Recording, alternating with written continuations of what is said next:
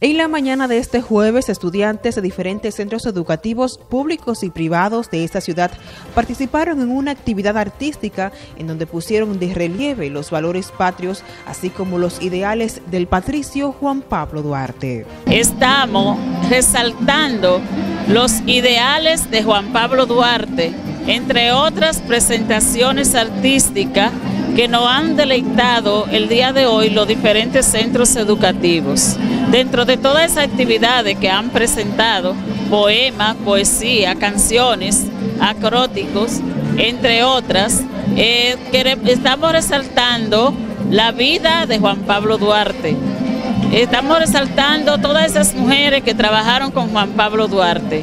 Invitamos a toda la población, desde la familia, desde la escuela, a elevar los ideales de nuestro padre de la patria y mantenerlos vivos Recordamos que con los actos por el 206 aniversario del nacimiento de Juan Pablo Duarte, el pasado sábado se dieron inicio a las actividades por el mes patrio.